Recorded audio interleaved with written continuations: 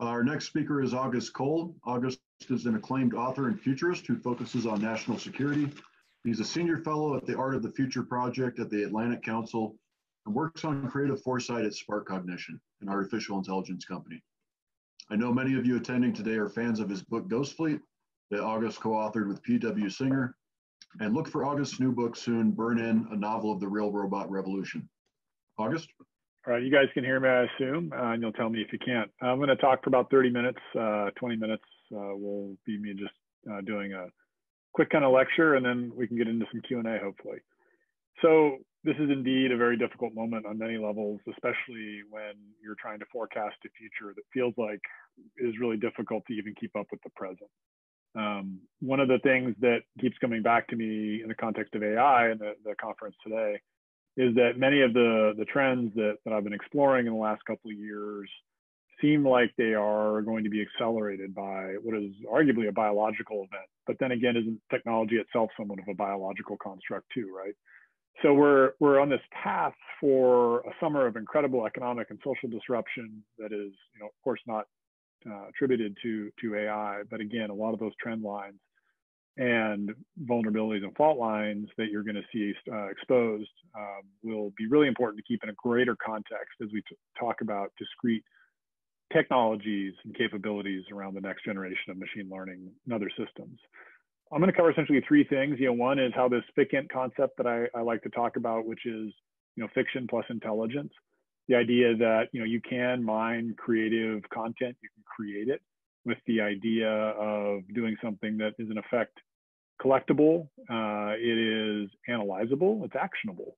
And what I what I think is important about this construct, you know, in the sense that we're thinking about the way that a, an acronym or, or similar uh, kind of official looking label gives a gives a concept, is that it also allows people to take take this this premise seriously. You know, we are certainly at a point where whether it's Mad Scientist uh, initiative, like we just heard, the Marine Corps efforts uh, from Ender's Galley at Marine Corps University, where they're producing graphic novels, to CIMSEC in the Navy, and the short story competitions, which have been serially uh, successful. You're seeing a real appetite for alternative ways to analyze and really think think thoughtfully about the the future to try to understand not just you know trend lines and concepts and ideas, but what are we really going to be seeing uh, from a from a first person human point of view. So, so to that to that end, I'll I'll talk a little bit about kind of how to use FICINT in this moment. And the second is a is a kind of riff on that, which is you know what makes a good story and how to how to create your own work, uh, especially at a time like this when we are trying to make sense of, of what we see around us. You know the Mark Twain quote that I'll butcher it, but it's something to the effect of you know I never know what I think about something until I write it down. I think is an actually really apt way to describe foresight, um, especially when you're talk, doing uh, talking or doing creative writing. And the last uh, thing I'll, I'll, discuss is uh, I, what I think is worth reading, watching, and, and playing right now. Uh, we, we are all very busy and juggling myriad things, but I think if we can create some space to uh, to play video games for work, to carve out some just head clearing activity, there's a lot of yield benefit to that. So the, the kind of larger kind of premise here about you know FICINT in the pandemic era that we're in you know, one of the the asks, this is true with Ghost Fleet, it's true with Burn In, it's really thinking the unthinkable. And when you're in the middle of something that is in itself uh, almost an unthinkable experience, it's really difficult to find that like intellectual and also emotional distance from the act and activity that's that's going on around us. Yet within that, I think it's also incumbent to remember the tenets and the basics of trying to do good foresight with fiction. You know, these different elements of FICINT itself, which can be seen as an acronym, things like foresight, which is of course self-described, the idea of uh, individuals being a critical perspective from which you're trying to understand a future environment.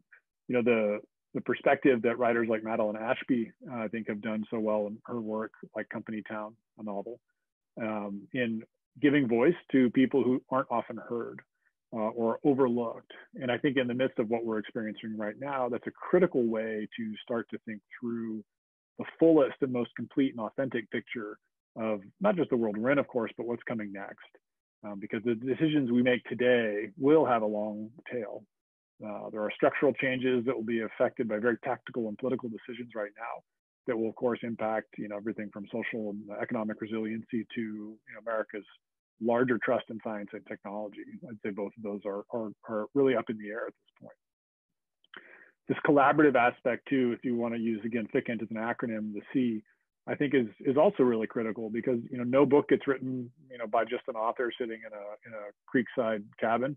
Uh, as nice as that might be for maybe an afternoon, it really wouldn't really get you to to the to, to the market, so to speak. You know, these are collaborative works, and I'm lucky to work enough to work uh, with a writer, uh, you know, who I, I, trust and, and get along with great in our novels. Um, and I think that can be true for the collaborative aspects in, in, short story writing or even longer fiction projects for, for yourselves as well.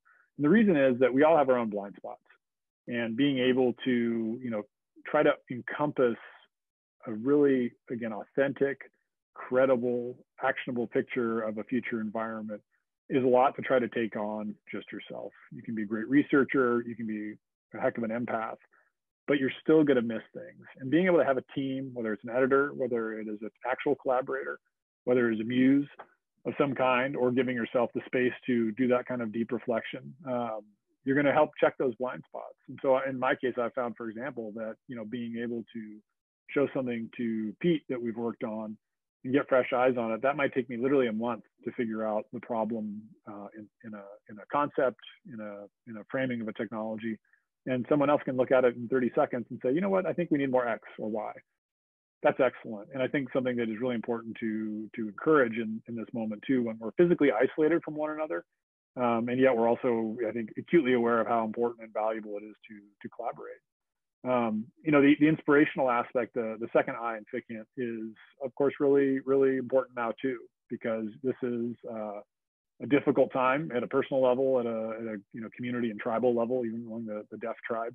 I, I think that you know we are always, when we're writing about really dark and pessimistic futures, trying to not write them as a form of indulgence, or uh, which I think is is is misleading. I mean, yeah, it can be kind of fun but the larger sense of mission that goes with creating useful fiction is to help find a way to avoid that future or a way out of it. And we are certainly in the midst of something that we are trying to find our way out of. Um, but those those same imperatives are going to be coming back to us, uh, especially in the national security community, in different forms. But many of the the patterns that we can develop, the habits, the community, the tribes, will be a way to do that. And so that collective aspect of um, whether it's the shareability of a story or the collaborative aspect of working together is is crucial in trying to inspire people to not be stuck in the kinds of ruts that lead to doing the same thing again and again and hoping for a different solution. You know, the N is uh, is about nuance, right? Like, you know, fiction really helps explore the gray area, and I think thematically, even when we're trying to think about something that seems binary or black and white, like great power conflict, you know, two big countries smashing into each other, that is arguably perhaps more of a highly nuanced competition uh, than than we would otherwise uh, like to assume. You can't buy your way out of those sorts of contests. You can't necessarily fight your way out of those contests. And so the more we can start to understand that and the role that technologies like AI play in those tensions, in those uh, engagements, uh, whether they're peaceful or whether they're they're militarized, it's going to be really important in, in trying to use this sort of aspirational fiction to to figure out ways to to to get at that. And the last, of course, T is just technology, which is it seems self-explanatory, but when you bundle all these ideas together, you're really trying to see technology from the human perspective, from the idea that you know we are playing with constructs that are you know created by us for now. Machines obviously are going to play a greater role in creating uh, many, much of the software I think that will be you know world shaping maybe in the 2030s. But while we still have time to uh, feel like we have a destiny in, in you know articulating this kind of software driven future, I think this is really imperative on us to to think about what that's like from a human perspective. It's too easy to get into mindsets that try to ascribe technology as a solution to all kinds of problems that are fundamentally human in the in the you know in the at their core. Uh, there was a really great question uh, that was asked in a prior session about being too enamored with technology. And I think that is certainly a risk, especially if we start to see many of the breakthroughs that are going on right now, whether it's you know pushing AI further to the edge. You know, the, the closer we put machine learning on a chip, uh, down to the soldier level, down to the individual level, we're going to have even more transformative civilian world uh, breakthroughs, let alone you know military and, and, and, kind of strategic competition. uh, breakthroughs. And yet, at the same time, we can't forget these really important human uh, elements. And, and within that, you know, there are, of course, novel threats. Uh, you know, pandemics are not a new one. Um, and for better or for worse, we still find it very difficult to prepare for them. Uh, you know, this is, I think, a causal uh, aspect of really figuring out what it means to be strategically prepared as a nation for the next century. And this is a test we're failing right now, and it's likely that we'll fail it uh, if we don't change some of our our kind of uh, very traditional and bureaucratic and politically minded responses to you know existential or or near existential threats.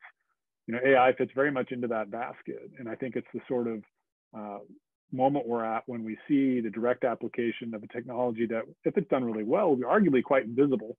Um, much in the same way that this idea that a virus can be transformative to an entire society uh, in a negative sense and it has its own sort of invisibility and yet we're trying to also fight it in a world that is bounded by the same rules of, of science and, and that we're that we're you know framing us in the in the kind of human construct that goes with being able to overcome the environment that we're in you know ai is part of that solution uh, when it comes to figuring out, you know, the very simple problems that we start to need to consider post-COVID around how do we provide for people, how do we keep them safe.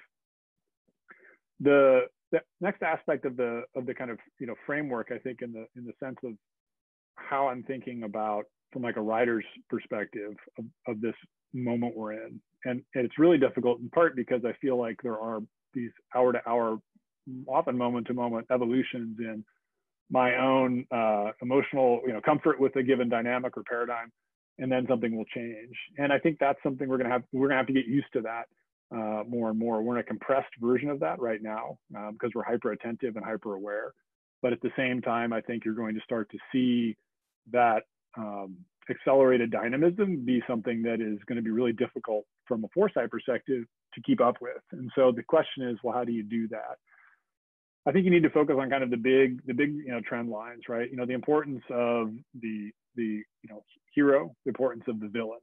Uh, the scene of the Teddy Roosevelt's captain walking off the ship and being cheered by his crew was, was such a like literary moment. Um, but it's also an indication too that you know we are at this point where there is a mismatch or imbalance between what we expect uh, of leaders in, a, in almost non-technological sense uh, when we don't have actually a response and we are left to our own human devices and that to me, of course, as someone who's trying to make sense of this through narrative is incredibly interesting. Um, you know, I came away from thinking like you you could imagine a future where a captain is walking off a ship and there is no crew, uh, and perhaps there is no cheering. Uh, because we're at a paradigm in the 2030s or 2040s where we've decided that the liabilities of, of human crewed you know, naval warships are exceed the, the operational value.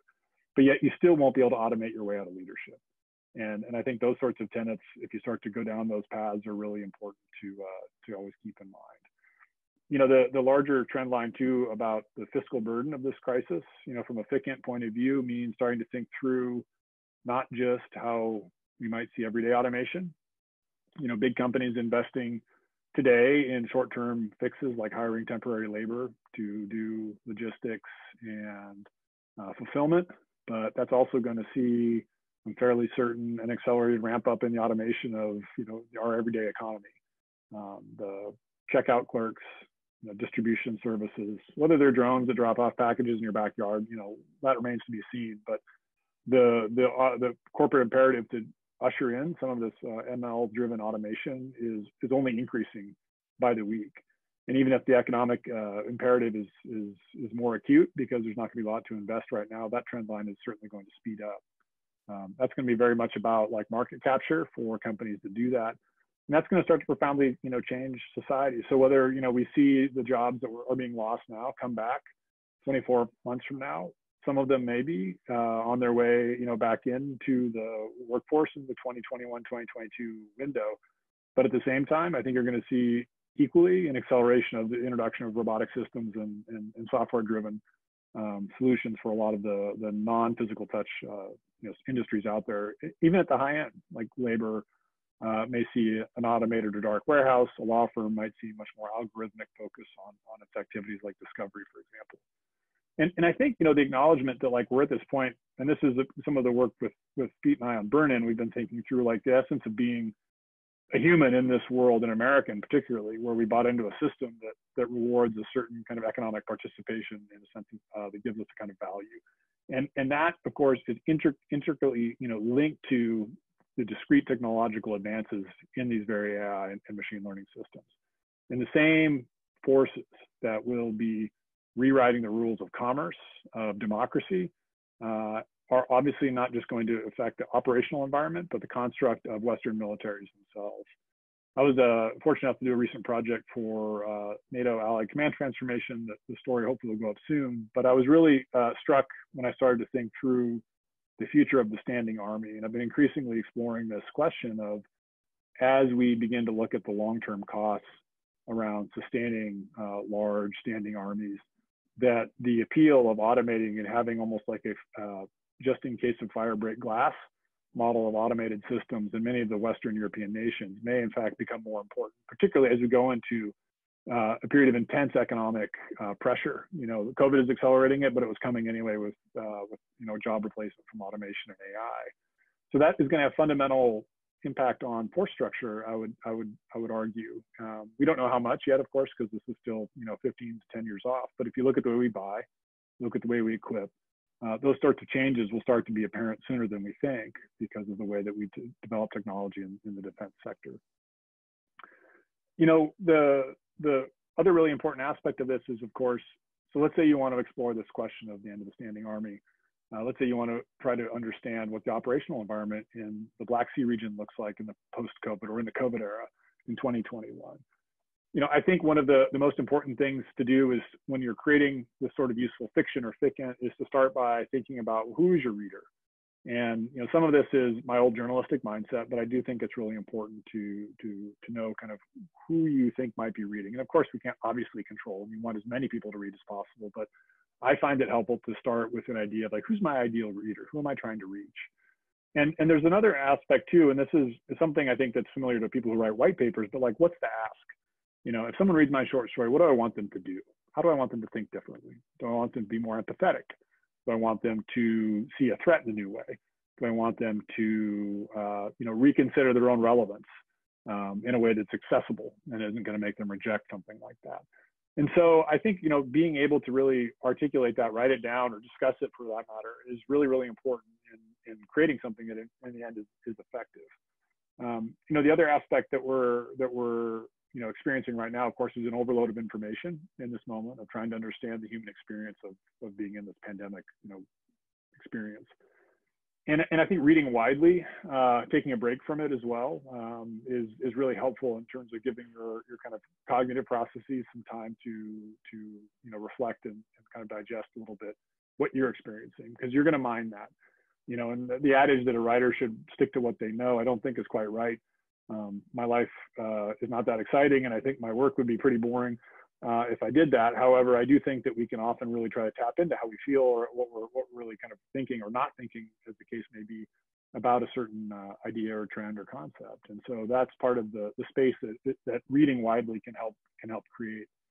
And, and at the same time, you know, you're you're also trying to to weigh this idea that you know we're we're writing science fiction sometimes and trying to describe a world transformed by by technology again particularly ai or you know machine learning driven automation. And and the reality is a lot of really really powerful technological change is somewhat invisible. Uh, and and that can be really really challenging to to kind of create you know the the sense driven um, you know frame of reference for a reader. And so i think the way to do that is to remember that very human uh, experience within those worlds and that you can somewhat liberate yourself from trying to didactically describe a world transformed by technology and simply just set people loose in that in that environment. Um, and that is often a more authentic way to to get at that to get at that world. You know, the uh, the, last thing I'll, I'll kind of tuck, tuck into here before we switch to uh, the Q and A is that you know we're in the middle of a system shock. Um, this one feels pretty quick, but there are some slow moving parts to it too. And you know, because we know that technology exists within the larger context of societies, how this shock travels through America, how it travels through the West, how it travels through China, et cetera, is going to be felt for for some time. And so it's important to not neglect those non, you know, natural perspectives that we might gravitate towards, or try to think about the voices that we're not listening to. to understand perhaps that maybe a glimmer of uh, a more possible future than the one we're comfortable acknowledging. And, and I think that's really, really vital because it's an attitudinal uh, perspective that you're not looking for validation when you're you're picking up uh, something to read or watch or play. Um, you know, some of the the video games lately that I found pretty interesting was a new Modern Warfare game, uh, which is probably especially popular now because they've kind of turned it into a Fortnite like you know battle royale. But in the story version of that game, which they clearly invested some money in, there there's a whole you know, I don't know 20 minutes, half an hour that's dedicated to flying. Um, you know, essentially insurgent-made homemade drones, uh, and and that's something that's novel in the sense for video games that are really trying to portray often technology in a very like attractive and uh, and kind of showy way to kind of really dedicate a lot of effort to um, exploring one of the kind of most important, I think, technological breakthroughs, which is the you know democratization of you know destructive air power um, from off-the-shelf tech. And so that's that's an interesting aspect of that game, which contrasts, I think, to another game called Ghost Recon Breakpoint, which is very like on the nose about the evil of, of AI battle systems gone amok and uh, you know has a lot of game design that's pretty interesting in the portrayal of swarms and, and, big leviathan tanks and such but fundamentally to me is not as interesting about what it has to say about technology as, as a modern warfare game. You know when it comes to reading uh, there's a ton of really good pandemic fiction out there. Uh, i've been trying to get through salvation city by sigrid nunez for like three months uh, which is a very difficult yeah, it's hard for me to read about plagues in the middle of a plague but that's a story about kind of what comes after um, in the middle of the, the, kind of heartland of America.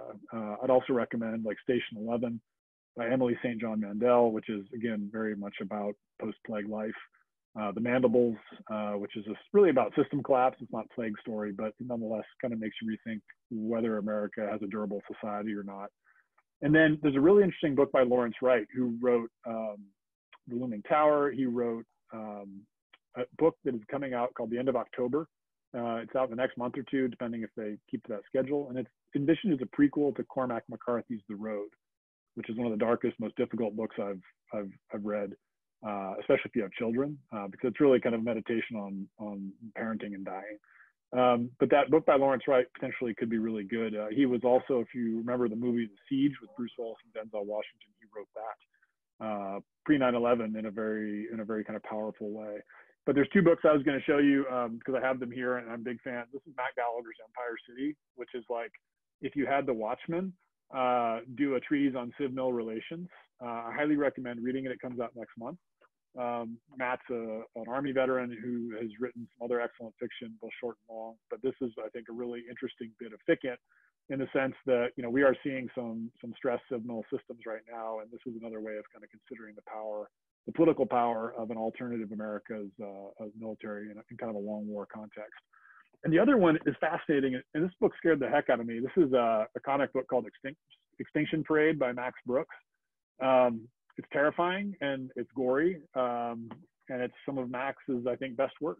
Uh, it is essentially asking the question: if you, it's about food security, right? If you're a vampire and there's a zombie outbreak, what are you going to eat? So if you ever want to try to get into that that scarcity mindset uh, and really go outside your comfort zone uh, to do so, Extinction Parade, it's uh, I think a two book or three book series um, is excellent for doing that. I'm just warning you, it's grisly, uh, but it's quite a shock to to consider something. It's a fundamental question that, of course, we're you know lightly considering now. Um, that doesn't feel as abstract. So I'm gonna uh, stop fire hosing here and uh, turn over to Q and A, and I'd love to kind of take some questions. Tim asks, uh, he says, thanks, August, for helping emphasize the importance of fiction as a medium of professional thinking and development. To my frustration, fiction reading in the military is still generally viewed more as a hobby or indulgence rather than a professional requirement. Adam, we've got uh, Tim's open. He'll be able to to talk through oh, his uh, yeah. question. Sorry. Go and then uh, then we'll do C. Cully. Uh, he'll he'll want you to read that one out for him. Okay, go for it, Tim. Awesome. Hey, thanks, August. I really appreciate the time. Um, as, uh, as they were kind of saying, uh, in my opinion, fiction is absolutely a big medium um, for pro professional thinking and development.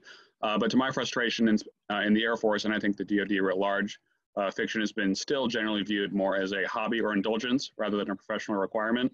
Uh, to help kind of counter this point, which you've done a lot already, and to help me indulge a little bit, can you tell us what your favorite book is and what you're reading now? I know you've already mentioned a few. Thanks. Oh yeah, that's great. I mean, it, it is uh, it is a challenge, right? You know, to to kind of fight for that credibility, and and I think the more people read critically, actually, the better the value becomes. And that you know, entertainment is important, and we should enjoy what we read. I think as often as we can. Um, but you're right. It is it is important to see value in that. Some of the books that really have helped me uh, in my thinking, um, you know, have been uh, some of the books by William Gibson.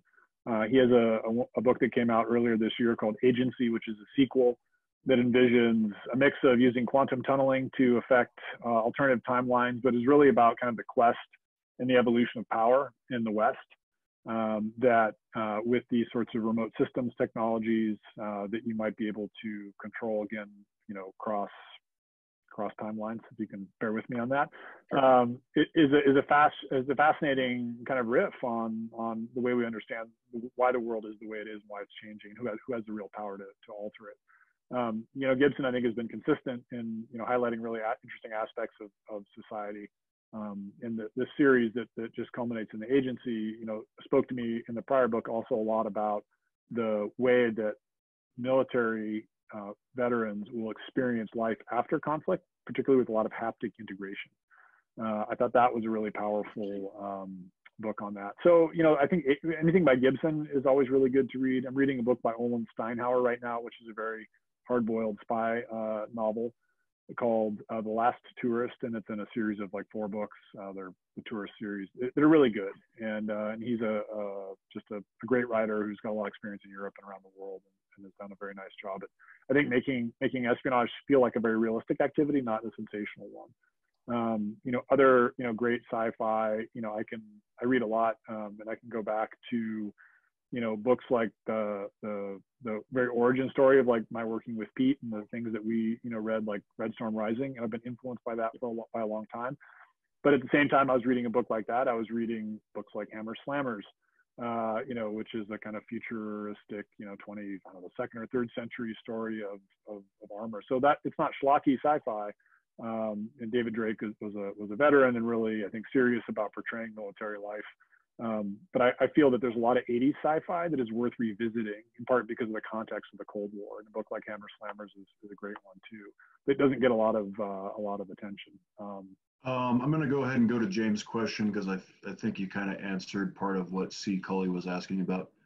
James said, watching the impact of COVID on the world has exposed the fragile nature of our society. Will our push toward technology driven capability result in a degree of overconnectedness or interdependency that makes us more vulnerable to black swan events like COVID?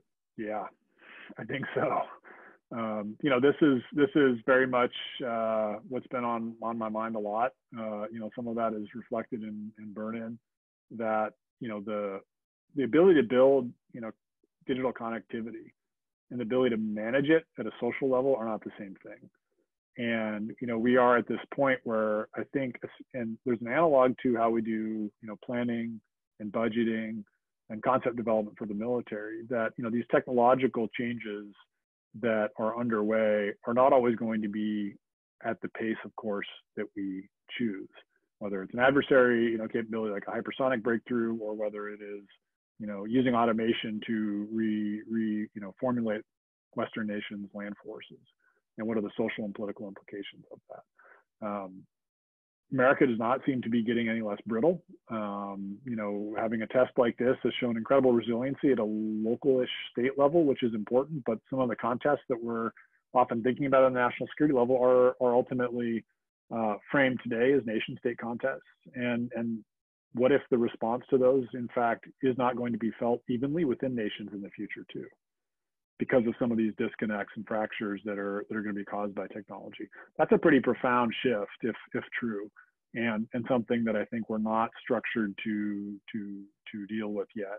Uh, it may not be able to. It might be that that the nations that are able to kind of create not just national will, but rather the opposite, the ability to have a sort of resiliency that reflects, especially in the West, uh, an inability to to create that sort of unity in the post-truth era is in fact the one that will prevail in big contests, whether they're kinetic or not, um, because there's no guarantee that that the sort of rivalries that that we can envision in the 21st century will in fact end up like like the sort of shooting wars that that, that we saw in the 20th century. Um, it may be that the sorts of permutations of conflict are, are shifting enough uh, that we will have episodes that do look like that, but others others that are quite different may in fact rest on this this, this one point I'm, I'm kind of thinking about. Um, we're at two o'clock. I don't want to uh, crowd out the next session, but I really appreciate the chance to talk to everybody. Um, do what you can, take care of yourselves. You know, think, act, create, move, uh, and uh, we'll keep on uh, doing the best we can. Thanks, everybody. Thank you, August, and thank you everyone for your great questions. Uh, we'll take five minutes and we'll be right back.